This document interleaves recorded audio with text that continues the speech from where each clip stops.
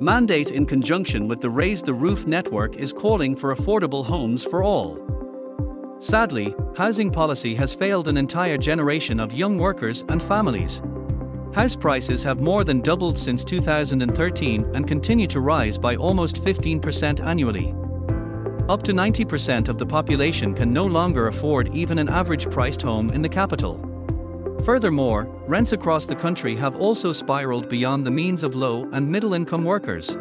With average rents of almost 2,000 euros per month, Dublin is now the sixth most expensive capital city in the world for renters and the third most expensive in the EU. The government's own Parliamentary Budget Office stated in January 2022 that housing in Ireland is now severely unaffordable by international standards.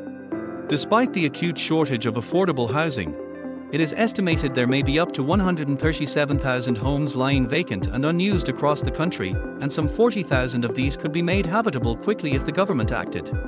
The government's Housing for All plan repeats the same failed policies of the past and will not deliver the number of secure, affordable homes to buy and rent that are needed. As young workers and families are denied affordable housing, major investors and speculators have done well from the crisis. Mandate Trade Union is asking the government to reduce the spiraling rent crisis and introduce a rent freeze and new rent controls to deliver affordable rents and secure long term tenancies for renters. Ensure affordability is the key target of a housing policy, with prices and rents linked to people's incomes. Introduce effective security legislation for renters. Reduce the housing waiting lists and the growing dependency on emergency accommodation. Retain all public and state owned land in public control for the provision of housing and act immediately on the scandal of vacant homes. Increase the supply of affordable homes. Have a referendum and create a new, legal right to housing. Increase investment to support a major state led housing program for the provision of public, affordable, and cost rental homes for all.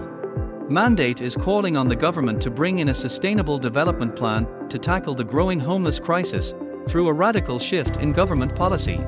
All mandate members are being called to lobby their elected politicians to change the government's policy in relation to the spiraling housing crisis. Together, we are stronger.